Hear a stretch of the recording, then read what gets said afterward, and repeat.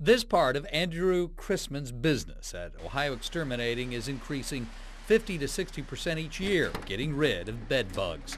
It has become such a problem in central Ohio that Columbus is now in the top 10 cities with bed bug problems. The issue is truly an epidemic in central Ohio.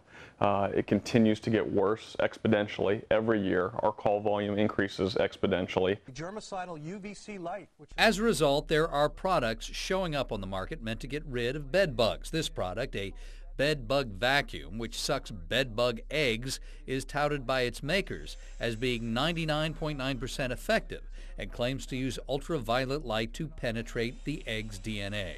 The Verilux CleanWave sanitizing furniture and bed vac should start showing up on the shelves of Best Buy stores in the next few days. It is recommended to sell for just under $130. Before spending 130 bucks though, those on the bedbug front line say bedbugs are some of the hardest pests to get rid of, and a buyer really needs to do their research. It's buyer beware. Some products do work, a lot don't. And most importantly, foggers. Uh, foggers and aerosols, total release aerosols, do not work for bedbugs. They actually spread the bedbugs and make the problem worse. The bedbug issue is so bad that there's now a Central Ohio Bed Bug Task Force made up of local cities, county, and the state health departments, housing associations, and exterminators convened to address the problem. In Columbus, I'm Mike Bowersock, NBC4.